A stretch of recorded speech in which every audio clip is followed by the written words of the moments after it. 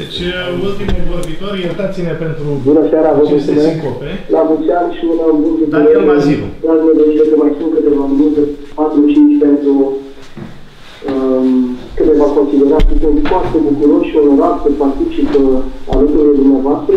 Părinte, vă mulțumesc pentru invitație. Și noi vă mulțumim. Uh, Domnului Crăciun îi mulțumesc în mod deosebit pentru prezentare. Părintelui Bogdan, uh, lui Alvaro, tuturor, uh, domnului George, care a vorbit mai devreme. Sunt uh, bucuros că acest titlu, de care nu sunt străin, a generat atâtea perspective, pentru că asta ne arată că Eminescu este foarte departe de a fi epuizat. Nu sunt uh, eminescolog, dar uh, sunt, uh, ca mulți dintre dumneavoastră, eminescofil. Din această perspectivă o să vă spun câteva lucruri în seara aceasta.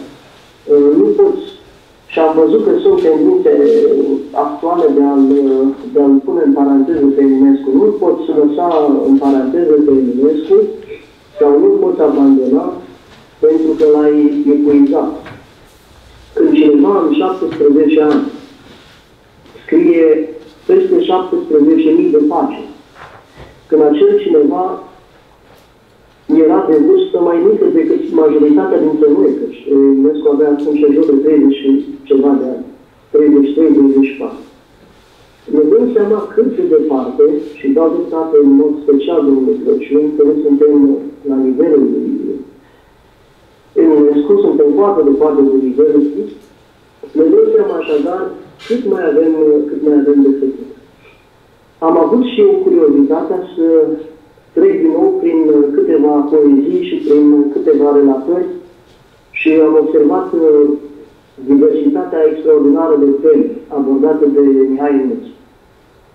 Vorbește despre începutul lumii, geneza așadar, despre Dumnezeu, despre îngerii căzuți, despre geneza poporului român, despre daci, despre lupta cu romanii, despre antichitate cu tot ce înseamnă ea, despre constituirea statală la români, despre monarhie, despre monahism, despre incizie, despre religiile din vremea lui și dinainte, despre iudaism, budism, creștinism, despre geniul pustiu, geniul din lume, în istorie, despre dragostea dintre oameni, despre dragostea dintre oameni și Dumnezeu, despre fantastic, despre folclor, despre bas, legendă, epigrame, filozofie, știință, arte, literatură, filologie, astrologie, societate, lumea contemporană. Și bineînțeles despre veșnicie. Acestea sunt câteva dintre temele abordate de Eminescu. Înțelegem de aici că Eminescu este cel care deschide limba română către această diversitate de perspective și, într-un fel, opera lui Eminescu ne spune nouă românilor că suntem de o cunoaștere cu celelalte popoare ale lumii. Chiar dacă nu am scris, nu am produs, nu suntem cei care au generat aceste lucrări la care face trimitere Eminescu, prin faptul că El ne le pune în față, arată că românii, prin El, printr-un singur om, era de ajuns un singur om, românii, prin El, sunt de o cunoaștere cu celelalte popoare ale lumii. Nu suntem uh, niște uh, aborigeni, niște păgâni, ci suntem niște oameni care suntem interesați de tot ce înseamnă cultură, spiritualitate în lume. Iar străinul Eminescu ne zice că românii sunt de o curiozitate cu voi. Așadar, chiar dacă în limba română nu s-au spus aceste lucruri care s-au spus în germană, în engleză, în franceză, în spaniolă, în sanscrită, iată românii sunt de o curiozitate cu voi și istoria de după Eminescu ne-a dovedit acest lucru, pentru că avem și noi școli de filologie, avem institute de cercetare, avem mari filologi, mari lingviști, care au scos la iveală acest interes deosebit. Eminescu ne promovează pretutindeni ca iubitor de adevăr. Și dacă facem abstracție de contribuția lui Eminescu, deși lucrul acesta este imposibil, deci măcar la nivel teoretic, dar să spunem așa, ca, ca ipoteză, dacă facem abstracție de contribuția lui țara noastră, dar trebuie să mai naștem câte Eminescu în fiecare generație, ca să echilibreze fiecare generație. Și în final aș dori să spun câteva lucruri pornind de la acest titlu. Evident, un titlu inspirat chiar de opera lui Eminescu. Eminescu tăinuit în uh, splendoarea literaturii limbii române. Ce am uh, vrut să spun prin tăinuit și cred că înțelegeți la fel ca mine, tăinuit înseamnă aici descoperit, dar și de descoperit, adică nu epuizat, ci într-o permanență uh, înfățișare, descoperire. Eminescu de împărtășit, de împărtășit străinilor, că suntem în România și discutăm cu ei, că suntem în străinătate și vorbim limba română sau vorbim limba lor, trebuie să împărtășim pe Eminescu, pentru că împărtășindu-l pe, pe Eminescu străinilor, de fapt, le arătăm că ei de o cunoaștere, de o curiozitate, cum spune. Eminescu mai este tăinuit în toți de sorbit, un vers care îi place foarte mult lui sorbit, și crescut în cultura și spiritualitatea noastră românească, dar și din cea universală. Și această splendoare a limbii române, ce este? E un concept foarte frumos, așa, la auzire și simplu de înțeles pentru noi românii, dar greu de explicat, dacă vreți, așa cu rigurozitate.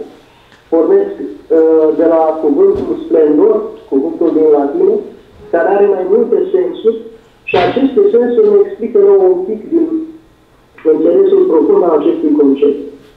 În primul rând, splendor înseamnă frumusețe.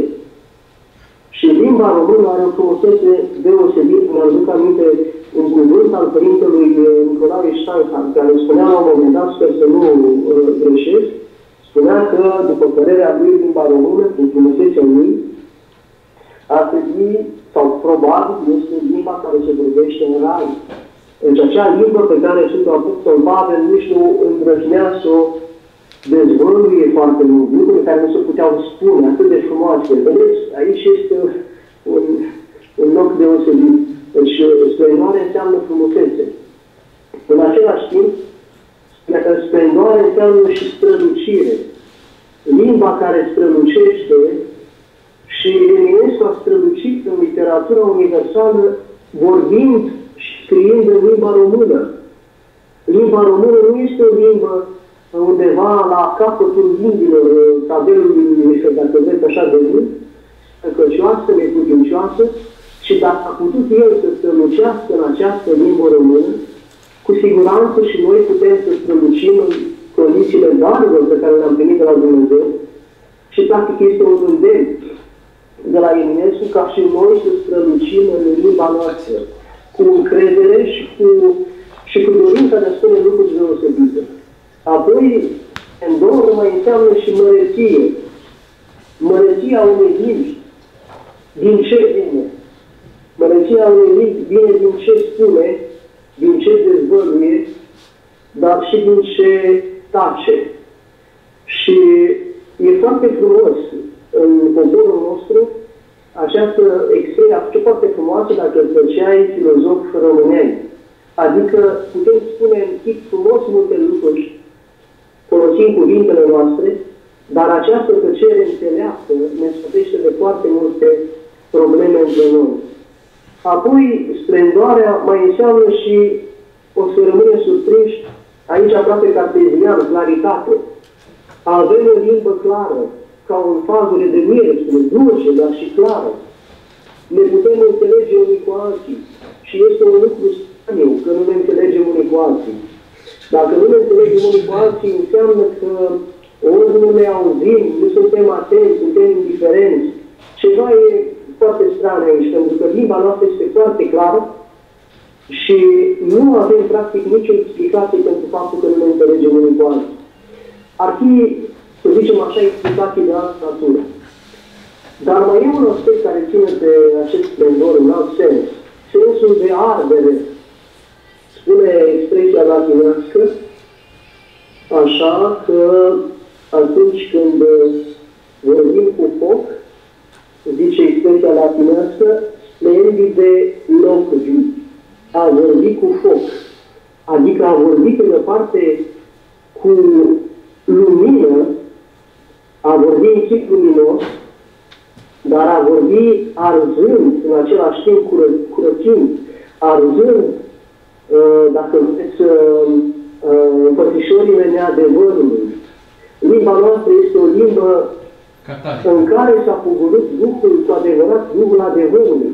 Și cred că asta este menirea noastră ca oameni, să vorbim limba pentru a spune adevărul și aici rezonez complet și total cu domnul Crăciun care a spus la început că de fapt acesta este adevărul, adevărul întrebat.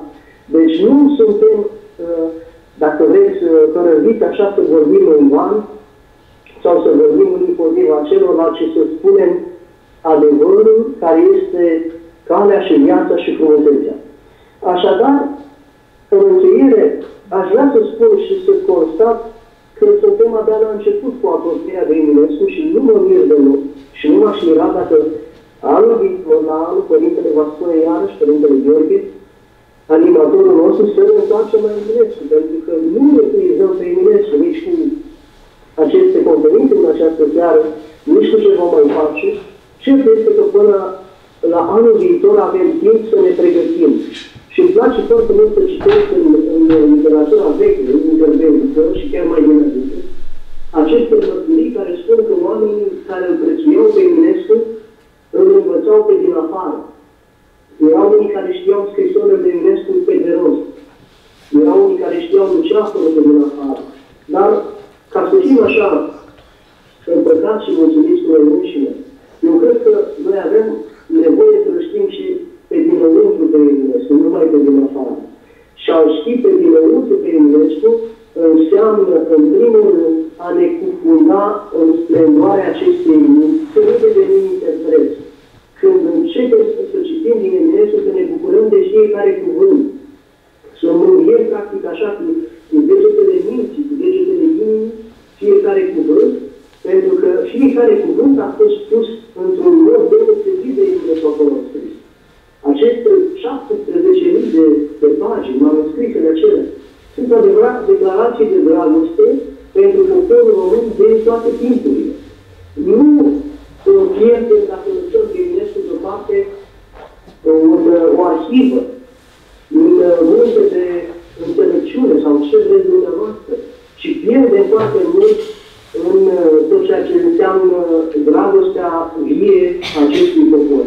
Vă mulțumesc foarte mult și mi-aș dori foarte mult să ne iertați pentru că nu am putut să fiu de față Mulțumim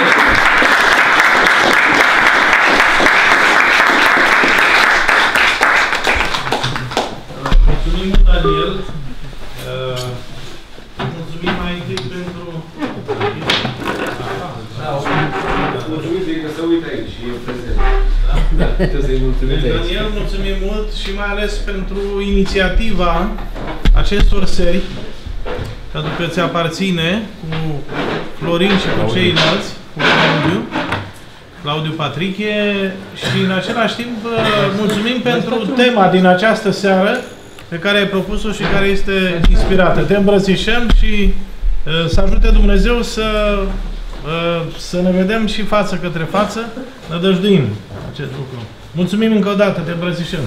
But